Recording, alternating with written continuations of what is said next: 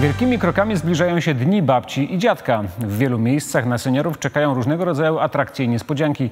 To dobra okazja, by wnuczkowie dziadkom i babciom zapewnili nie tylko swoją obecność, ale też trochę rozrywki i pomogli zadbać o zdrowie.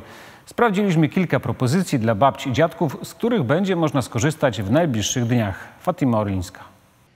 Na spacer po Muzeum Powstań Śląskich czy zwiedzanie wież KWK Polska w Świętochłowicach dziadków i babcie zaprasza miasto, które na tę okazję przygotowało dla seniorów i ich wnuczków specjalną ofertę. Chcielibyśmy, żeby mm, ci wnuczkowie swoich dziadków, a może dziadkowie swoich wnuczków wyrwali z kapci.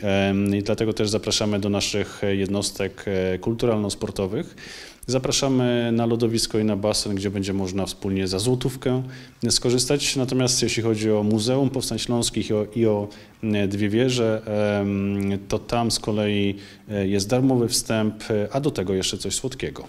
Dla miłośników nieco bardziej egzotycznych klimatów swoją propozycję specjalnie dla dziadków i wnuków przygotowało Sosnowieckie Egzotarium. Tam święto babci i dziadka potrwa przez kilka dni. Warto jednak pamiętać, że w najbliższy i następny weekend bilety będą limitowane, a ponadto akcja skierowana jest tylko do mieszkańców Sosnowca. Sprzedaż biletów na tą akcję promocyjną mamy wyłącznie w kasie stacjonarnej. Nie można wcześniej zarezerwować biletów ani kupić ich online.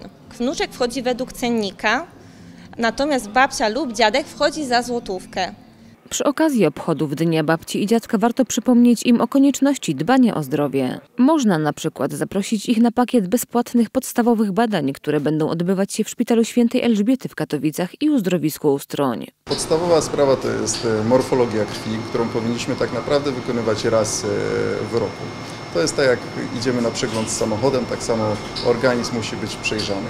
Mamy morfologię, glukozę, czyli e, parametr, który wykrywa nam cukrzycę, cholesterol, który odpowiada za miażdżycę tętnic, za zawały serca, udary mózgu. Do tego badanie kreatyniny, które pomaga diagnozować choroby nerek. Do zadbania o formę babci i dziadków zachęca też Ruda Śląska. Tam od kilku już lat funkcjonuje tak zwana koperta życia, którą do dziś otrzymało już kilka tysięcy seniorów. Telefon do najbliższych, na co choruje, jakie przyjmuje leki. W ramach tegorocznej edycji miasto rozda ich kolejne 2000, a doświadczenia poprzednich lat pokazują, że pozornie drobny gest może naprawdę uratować życie. Seniorzy mogą odebrać kopertę w urzędzie lub podczas najbliższego koncertu z okazji Dnia Babci i Dziadka. Koperta życia to jest taka ankieta właściwie, która zawiera najważniejsze informacje w zakresie właśnie stanu zdrowia, e, przebytych chorób, e, branych leków e, systematycznie, jakichś operacji, a także wskazuje do kogo się zgłaszać,